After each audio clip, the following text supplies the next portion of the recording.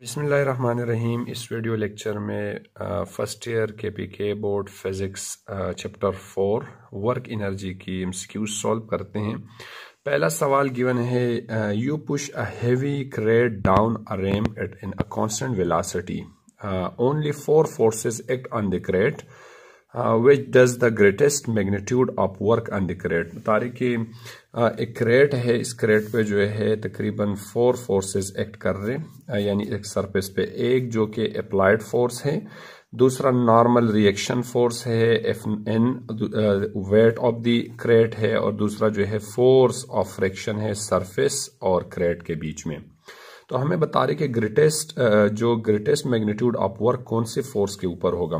तो देखिए, अगर इस सिचुएशन में हम गौर कर ले, जो अगर फोर्स ऑफ़ फ्रिक्शन ग्रेटर होगा तो वर्क डन मैक्सिमम होगा। इसी फोर्स पे हमने वर्क डन ज़्यादा करना होगा। अगर फोर्स ऑफ़ फ्रिक्शन कम होगा तो वर्क डन जो है कम होगा। यानी यहाँ पर जो करेक्ट ऑप्शन है, वो है the force of friction question two बता रही the force of the force constant of a wire is K यानी फोर्स कांस्टेंट जो है ये एक वायर का गिवन uh, है वो हमें दिया है के और and that the other wire is three K और फोर्स कांस्टेंट जो सेकंड वायर का है वो बराबर है थ्री के के इक्वल है. When both the wires are stretch through a same distance if work done are W one and W two then हमें बता रहे कि दोनों वायर्स को हमने सेम डिस्टेंस तक स्ट्रेच किया तो वर्क डन दोनों पे कितना होगा? यानी दोनों के वर्क में रेशो क्या है? दोनों के वर्क में रिलेशन किया है? तो देखिए, हमें मालूम है कि वर्क डन और जो स्प्रिंग के अंदर हम, यानी वर्क डन करते हैं, इसका जो जनरल रिलेशन है वो बराबर है W is equal to one over two K X square यानी यानी स्प्रिंग कांस्टेंट और वर्क के बीच में जो रिलेशन है, ये इस इक्वेशन के इक्वल है। देखिए, अब फ़र्स्ट केस के अंदर हमें बता रहे कि स्प्रिंग जो यहाँ स्ट्रिंग कांस्टेंट है के की यहाँ पर फ़र्स्ट केस में के है और सेकंड केस में ये बराबर है थ्री के के। तो अगर इसके लिए, दोनों के लिए हम इक्वेशन लिख दे तो डब्ल्यू वन बराबर हो जाएगा one over two K X square के।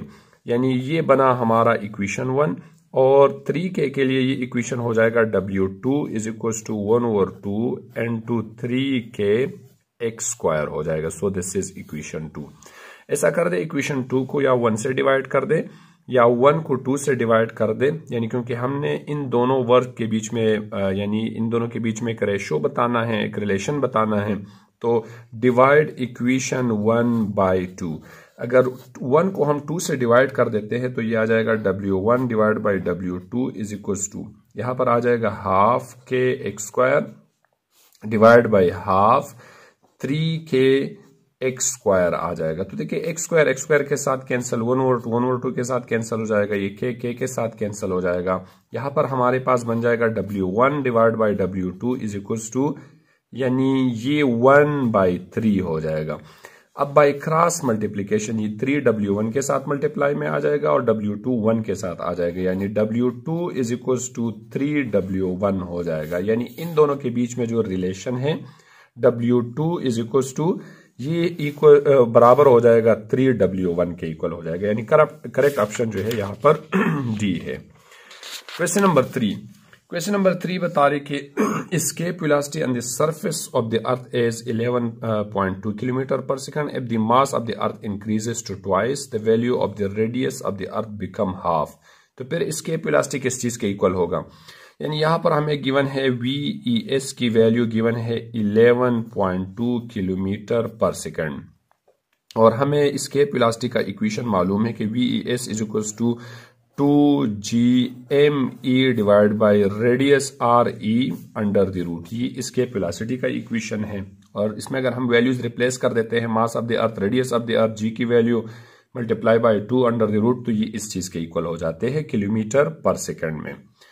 आगे हमें बता रहे कि अगर हम लेट सपोज़ मास को जो है डबल कर देते हैं let suppose mass of the earth यानी इसको मैंने एम ई प्राइम लिख दिया टू एम ई और रेडियस ऑफ़ द अर्थ जो है, इसको अगर हम हाफ़ कर देते हैं बिकम हाफ़ तो ये रेडियस ऑफ़ द अर्थ का टू हो जाएगा हाफ़ हो जाएगा। तो इसके लिए अगर हम इक्वेशन लिख दें यानी यहाँ पर इन दो वैल्यूज़ में हमारे पास चेंज आ रहे तो इसको मैंने लिख दिया V E S prime let suppose ये इक्वेशन वन है। वी ई एस प्राइम बराबर हो जाएगा two G M E prime divide by R E prime under the root अब अगर इसके अंदर हम ये वैल्यूज़ रिप्लेस करेंगे तो ये आ, हमारे पास बन जाएगा V E S prime is equal to यानी टू जी कांस्टेंट है। एम ई की जगह पर टू एम ई आ जाएगा और आर ई प्राइम की जगह पर जो है R E divide by two under the root आ जाएगा। अब देखिए ये two divide and multiply rule है ऊपर आ जाएगा तो एट्स मीन टू ये भी ऊपर आ, आ गया तो two multiply by two square हो जाएगा।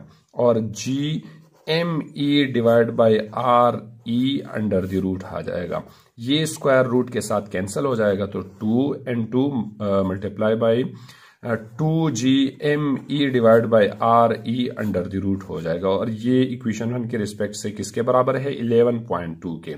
तो two multiply by eleven point two दोनों मल्टीप्लाई होके, यानी ये twenty two point four kilometre per second जो है, यानी इसके वेलोसिटी इस वक्त जो है ये twenty two point four kilometre per second के बराबर हो जाएगा। यानी करेक्ट ऑप्शन यहाँ पर सी है। क्वेश्चन फोर बता रही in example of non conservative force तो इलेक्ट्रोस्टेटिक इलेक्ट्रिक फोर्स भी कंजर्वेटिव फोर्स है ग्रेविटेशनल फोर्स भी कंजर्वेटिव है मैग्नेटिक फोर्स भी है। ओनली फ्रिक्शनल फोर्स जो है, ये नॉन कंजर्वेटिव फोर्स है। Question number five question number five बता रही कि when the speed of your car is double by what factor does its kinetic energy increases यानी क्वेश्चन के अंदर हमें बता रही कि लेट सपोज़ वी प्राइम को हमने टू वी कर दिया डबल कर दिया, और फिर बता रहे कि काइनेटिक एनर्जी प्राइम जो है, ये किस चीज़ के इक्वल होगा? तो देखिए जनरल इक्वेशन हमें मालूम है काइनेटिक एनर्जी का kinetic energy is equal to half M V square इसके इक्वल है। लेट सपोज़ ये बना हमारा इक्वेशन वन अब दूसरा जो है चेंज आ रहे चेंज के लिए हम इक्वेशन लिखेंगे kinetic energy prime is equal to half M V prime square यहाँ पर सिर्फ़ विलासिटी में चेंज आ रहे तो विलासिटी के पोर मैंने प्राइम लिख दिया. So this is equation two equation two के अंदर ये वाला कंडीशन रिप्लेस कर दे V prime is equal to तो kinetic energy prime is equal to ये हो जाएगा हाफ़ एम वी प्राइम की जगह पर टू वी का स्क्वायर हो जाएगा। टू फोर के इक्वल हो जाएगा तो kinetic energy prime is equal to ये फोर और फोर को मैंने शुरू में लिख दिया वन और टू एम वी स्क्वायर हो जाएगा। और इक्वेशन वन के हिसाब से ये काइनेटिक एनर्जी के इक्वल है। तो काइनेटिक एनर्जी प्राइम जो है, ये फोर टाइम काइनेटिक एनर्जी के इक्वल होगा। यानी यहाँ पर जो सी है करेक्ट ऑप्शन है। क्वेश्चन नंबर सिक्स बता रही कि one horse power is given by तो हार्स पावर जो है पावर का यूनिट है। और one horse power H P जो है, ये 746 वाट के इक्वल होते हैं। तो यहाँ पर जो ए है करेक्ट ऑप्शन है।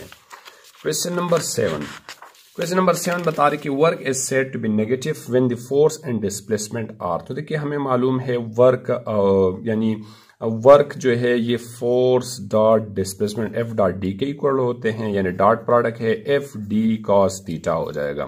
थीटा आया है तो हमें मालूम है कि अगर थीटा हम ज़ीरो रिप्लेस कर देते हैं तो cos zero is equal to one cos ninety is equal to zero इस यानी नाइनटी केस में वर्डन ज़ीरो होगा और cos one eighty is equal to minus one अगर हम वन एटी रिप्लेस कर देते हैं तो वर्डन जो है नेगेटिव होगा। तो it's mean one one eighty anti parallel case में वर्डन नेगेटिव होगा। Work is set to be negative when force and displacement are anti parallel to each other question number eight बता रही कि two bodies masses M one and M two having equal momentum दोनों की momentum equal है. And their kinetic energies E one in E two are in the ratio यानी हमने energy के बीच में रेशो बताना है. तो देखिए uh, यहाँ पर अगर हम क्वेश्चन पे गौर कर ले यहाँ पर मासेस गिवन है मोमेंटम है और एनर्जी है. तो सबसे पहला हम ऐसा कर देते हैं कि हम यहाँ पर काइनेटिक एनर्जी और मोमेंटम का एक इक्वेशन फार्मूला बना देते हैं। इसके लिए काइनेटिक एनर्जी का इक्वेशन कंसिडर कर देते हैं कि काइनेटिक एनर्जी बराबर होते हैं हाफ़ एम वी स्क्वायर के। और हमें मालूम है momentum P is equal to M V के इक्वल है। अब यहाँ पर एम वी स्क्वायर आया है। तो देखिए, अगर मैं इस इक्वेशन की लेफ़्ट हैंड साइड को एम से मल्टीप्लाई कर दूँ और एम से मैं डिवाइड कर दूँ तो एम एम एम स्क्वायर हो जाएगा, यानी काइनेटिक एनर्जी बन जाएगा half M square M square V square divide by M हो जाएगा। इसको मैं यू भी लिख सकता हूँ वन ओवर टू एम और यहाँ पर एम वी के ऊपर मैंने स्क्वायर लिख दिया। यानी kinetic energy is equal to इसकी जगह पर मैं पी भी लिख सकता हूँ P square divide by two M हो जाएगा। और काइनेटिक एनर्जी की जगह पर अगर मैं यहाँ पर ई e रिप्लेस कर दू, क्योंकि इक्वेशन के अंदर यहाँ पर ई e वन और ई e टू है। तो इन दोनों का रिलेशन बन जाएगा। काइनेटिक एनर्जी की जगह पर E is equal to P square divide by two M यानी P square is equal to two M E हो जाएगा। यानी मोमेंटम जो है two M E under the root के इक्वल हो जाएगा। यानी मोमेंटम और काइनेटिक एनर्जी का equation P is equal to two M E बन जाएगा। अब क्वेश्चन के अंदर हमें बता रहे कि masses M one M two है, दोनों की मोमेंटम सेम है। Energy E one E two है kinetic energy E one E two है तो इन दोनों के बीच में रेशियो क्या होगा? तो लेट सपोज़ इस इक्वेशन को मैं फ़र्स्ट बॉडी के लिए लिख रहा हूँ तो ये हो जाएगा P one is equal to two M one E one under the root और दूसरा जो है, हमारे पास हो जाएगा P two is equal to two M two E two under the root अब कंडीशन क्या है? हमें बता रहे कि दोनों की मोमेंटम सेम है तो it's mean P one is equal to P two दोनों इक्वेशन को अगर हम यहाँ पर रिप्लेस करेंगे तो ये आ जाएगा two M one E one under the root is equal to यहाँ पर भी two M two E two under the root आ जाएगा. तो रूट रूट के साथ कैंसिल हो जाएगा. Two M one E one is equal to two M two E two हो जाएगा. टू टू के साथ cancel M one E one is equal to M two E two हो जाएगा। हमने ई e वन और ई e टू के बीच में रेशो मालूम करना है। तो देखिए वन इधर रह जाएगा, ये ई टू इसके साथ डिवाइड में आ जाएगा, और ये आ जाएगा M two divide by M one अब इसको अगर हम रेशो फॉर्म में लिखेंगे तो ये E one ratio E two is equal to ये M two ratio M one यानी ई वन और ई टू के बीच में जो रेशो है, ये M two ratio M one के इक्वल होगा। यानी करेक्ट ऑप्शन यहाँ पर सी है। इस चैप्टर की रिमेनिंग एमसीक्यूज नेक्स्ट वीडियो में डिस्कस करते हैं। अल्लाह हाफिज़।